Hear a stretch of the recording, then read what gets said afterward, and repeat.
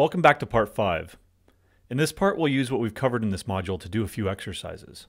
For our first exercise we'll write a full program that reads in three integer values and determines the maximum among those three, printing it out. First let's write the boilerplate.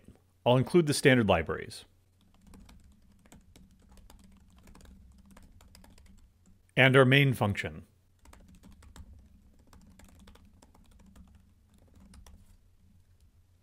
Now let's read in the three integers as command line arguments.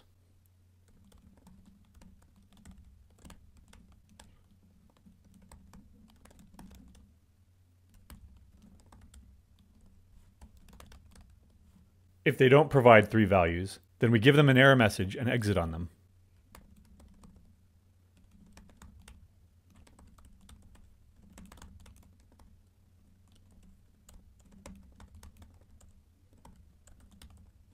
Now that we have all three values, we need to determine which one is the greatest.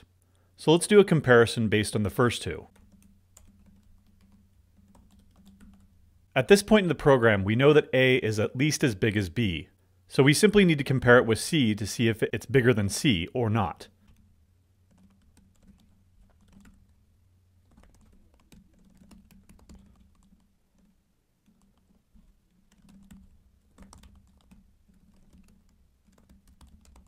This nested if statement achieves that purpose. In the first print statement, we know that A is both greater than B and it's greater than C, therefore it's the maximum. In the second print statement, we know that A is greater than B, but also that C is greater than A. Thus, it's the maximum. If A is not greater than or equal to B, then it's clearly not necessarily the maximum. So we compare B with C.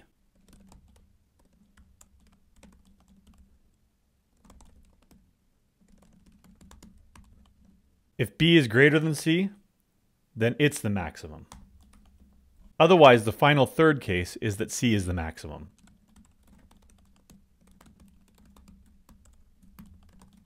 Let's compile and test this.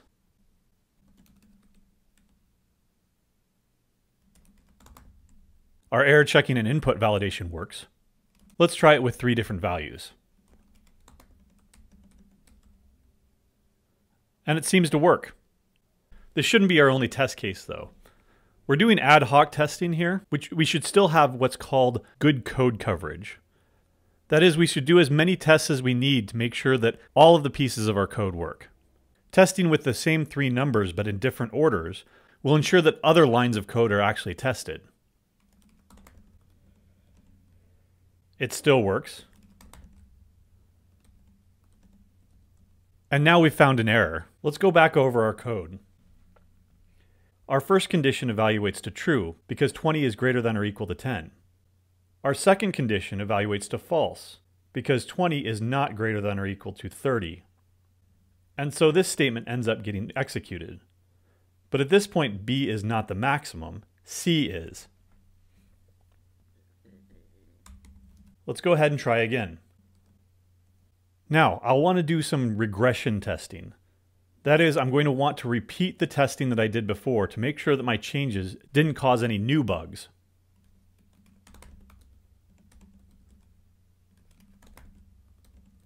And now let's try the errant test case. And the rest.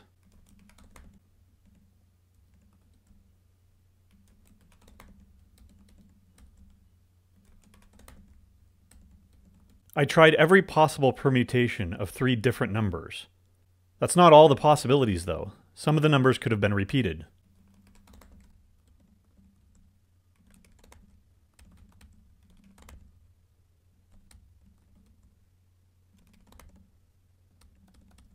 All those ad hoc test cases give me a high confidence that the code is now correct. How might we improve this code, though? First of all, let's refactor it to remove redundant code. I have a lot of print statements here, performing the same operation on different variables. Not only that, but I have nested conditionals, which can probably be combined using the logical AND operator to connect them. First, let's create one variable to represent the maximum value. We'll initialize it to a under the assumption that a is the maximum value, and then compare it to the other two values.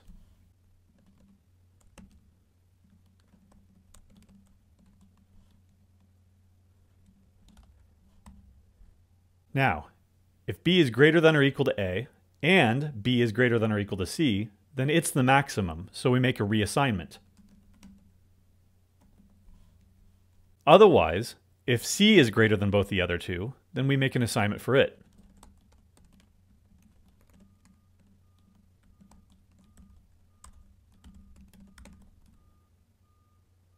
There is no else statement here because we initialize max to a. If neither of these two AND conditions hold, then a is the maximum, but we've already set it that way. This allows us to have a single print statement.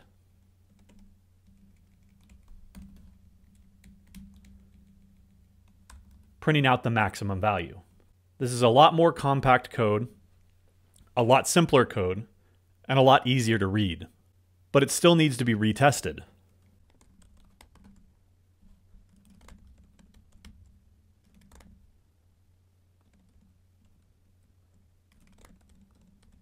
I won't go through all the tests here, but you get the idea.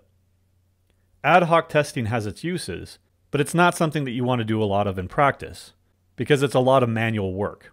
Instead, you would want to write more formal test cases in a test framework that are repeatable and automated. Let's look at the program one last time for potential additional simplifications. Since we've already set the maximum to be A, all we need to do is determine whether or not B or C is greater than the maximum that we've already set.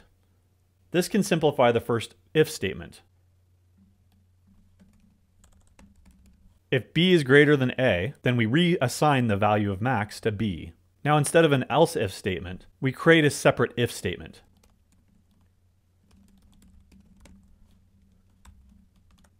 In one of the conditions I used greater than or equal to, and in the other I used strictly greater than. Either one would work, but for consistency's sake, we should just use one. If they happen to be equal, the logic will still produce the maximum number. We didn't use an else if condition here because they're not mutually exclusive. It's possible that B is still greater than A and that C is still greater than B. So we need to check both of those things. As our second program, let's write a program that reads in a decibel level from the user and gives them a description of the sound level based on the following categories.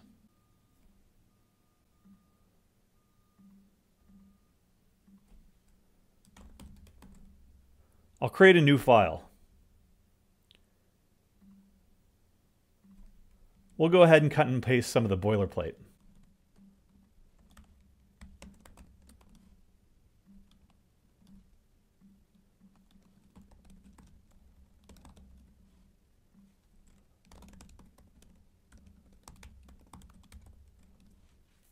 We'll check for the first sound level here. 0 to 60 is quiet.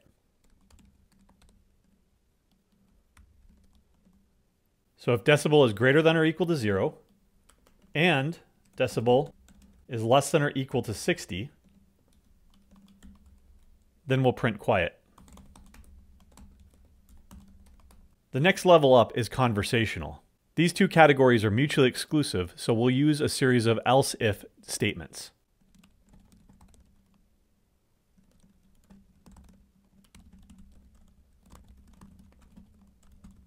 The next 71 to 90 is loud.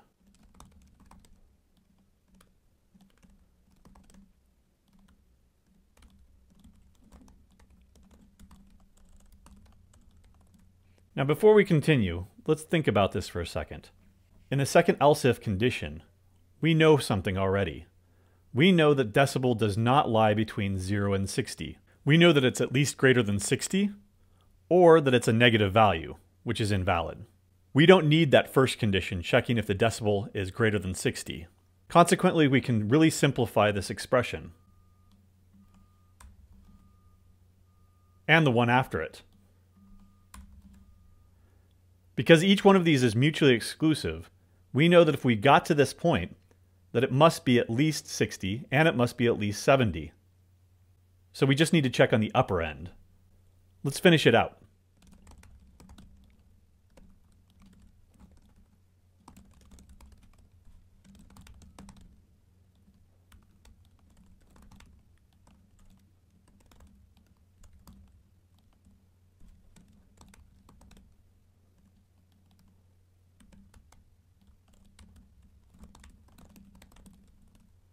Now let's go ahead and test this.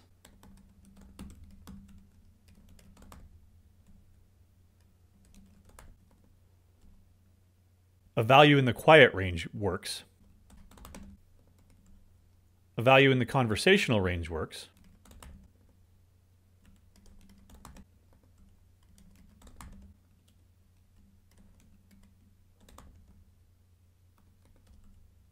I did forget an inline character, but otherwise, for the most part, they all work. But what about some corner cases? For example, what about zero? That's reasonable. What about negative values? Conversational. Let's run through the program and see why this is. When I entered a value of negative 10, the first if condition evaluated to false, because negative 10 is less than 0 and so it doesn't fall within the range of 0 to 60. However, my simplification in the second conditional statement evaluates to true. A decibel of negative 10 is certainly less than or equal to 70. So that ends up being true. It's the first one that ends up being true, and so it incorrectly printed conversational. Negative decibel values are actually not valid input. So how do we deal with this? We probably need to be checking for invalid values up front. We could do this as part of this if-else if block, or we could do it separately.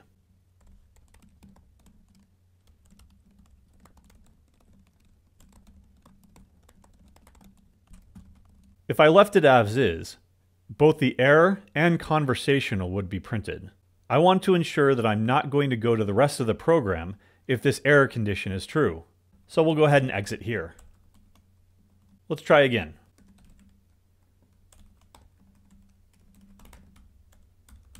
And now it works. Another corner case. What if we have a value that's not defined by the category table that we had? It ends up not printing anything.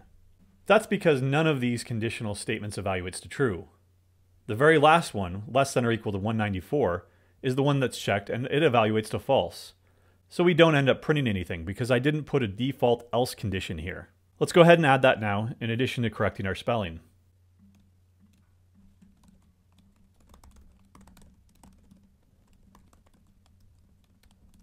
And try again.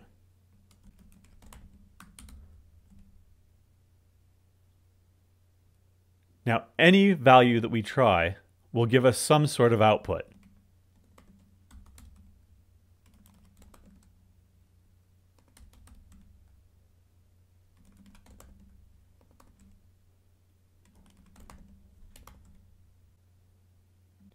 As a review, remember the most specific condition should come first in an if-else if statement. Having a final else statement is optional, but in many cases you do want it. Remember that the first conditional that evaluates to true in an if-else if statement is the one and only one that gets executed. As a final example, let's write a program that takes in three values and determines whether or not they form a valid triangle. Three values form a valid triangle if and only if the sum of the length of any two sides is strictly greater than the length of the third side. Furthermore, any valid triangle can be characterized as either equilateral, isosceles, or scalene. An equilateral triangle is one with all three equal sides. An isosceles triangle is one with two equal sides, where the third is not equal to the first two. And a scalene triangle has different values for each one of its sides. I've already started the program here. The first thing I want to do is make sure that they're valid values. The side of a triangle must be positive.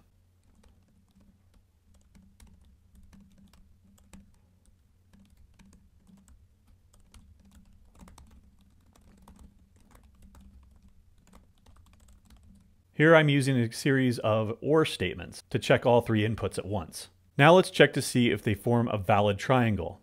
Again, the sum of any two sides, for example a plus b, must be strictly greater than the third side, c. We look at all three combinations here.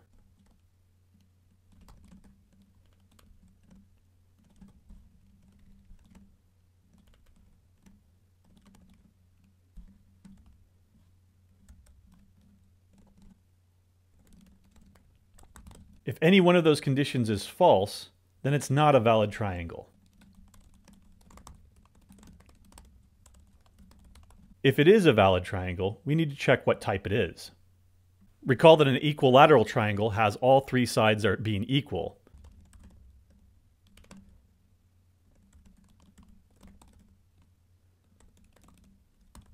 I didn't do a third comparison between A and C because if A is equal to B and B is equal to C, then certainly it's the case that A is equal to C. An isosceles triangle has two sides that are equal.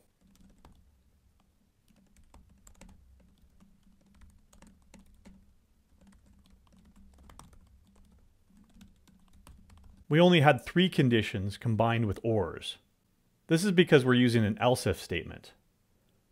If we're at this point in the code, then we know that all three sides are not equal. So it suffices to check if any two of the sides, AB, AC, or BC, are equal in order to determine that it's an isosceles triangle.